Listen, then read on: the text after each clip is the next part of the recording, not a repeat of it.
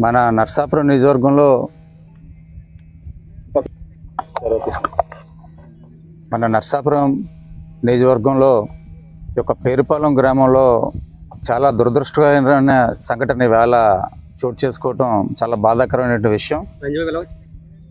వేళ తెల్లవారుజాముని ఇక్కడ ఏదైతే మత్స్యకారులు వాళ్ళు వేటకెళ్తూ దురదృష్టవశాత్తు అక్కడ ఏదైతే చెరువు కానుకొని ఉన్నటువంటి ఫెన్సింగ్కి కరెంట్ పాస్ అవటం వల్ల అది వాళ్ళకి తగిలి వాళ్ళు చనిపోవటం అనేది చాలా బాధాకరమైన విషయం.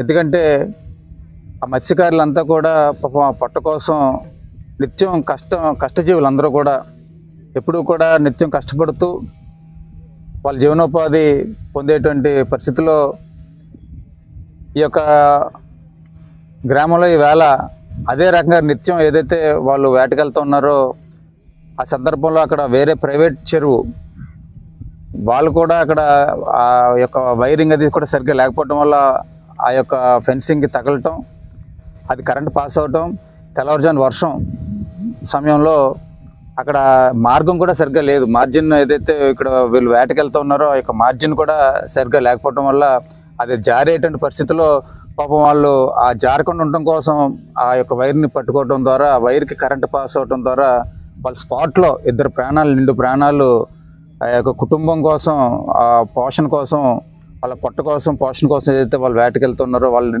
యొక్క నిండు ప్రాణాలు పోవటం అనేది చాలా బాధాకరమైన విషయం. ఇది ఖచ్చితంగా ఇది ఒక యొక్క ప్రభుత్వ వైఫల్యం ఇది. ఎందుకంటే వాళ్ళు ఈ ప్రాంతంలో అందరికీ కూడా తెలుసు. ఈ ప్రాంతంలో నిత్యం వేటకి వెళ్తే తప్ప ఈ యొక్క ప్రాంతంలో ఈ యొక్క రహదారిలోనే ఎప్పుడు కూడా వేటకెళ్తూ ఉంటారు. వాళ్ళకి కనీస మౌలిక సదుపాయాలు కనీస సౌకర్యాలు కల్పించకపోవడం ప్రభుత్వ పూర్తి నిర్లక్ష్యం ఇది.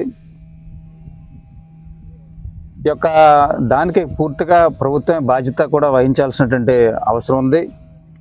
వాళ్ళు పూర్తిగా అన్ని రకాలుగా కుటుంబాన్ని కూడా అన్ని రకాలుగా కూడా ఆదుకోవాల్సిన అవసరం ఉంది. వాళ్ళకి ఒక్కొక్క కుటుంబానికి కనీసం పాతిక లక్షలని చెప్పి అన్నా వాళ్ళకి పరిహారం ప్రభుత్వం నుంచి నష్టపరిహారం అందే విధంగా ప్రభుత్వం చర్యలు తీసుకోవాలి. అదేవిధంగా భవిష్యత్తులో ఇటువంటి సంఘటనలు జరగకుండా వాళ్ళకి మార్గం. ఎందుకంటే చాలా మటుకు ఇక్కడ ఆక్రమించేశారు ఇక్కడ అంతా కూడా. యొక్క ఫెన్సింగ్లు వేసేసి ఆ యొక్క నిత్యం చాలామంది వందలాది మంది ఇక్కడ వేటకెళ్ళేటువంటి వాళ్ళకి దారి లేకుండా చేయటం ద్వారా ఈ యొక్క ఫెన్సింగ్లన్నీ కూడా ఆక్రమణగా చేయటం ద్వారా అందరూ కూడా ఇబ్బంది పడుతున్నారు. భవిష్యత్తులో ఇటువంటి సంఘటనలు జరగకుండా ఇప్పటికైనా ప్రభుత్వం కళ్ళు తెరిచి దీని మీద చర్యలు తీసుకోవాలని చెప్పేసి కోరుకుంటున్నాం.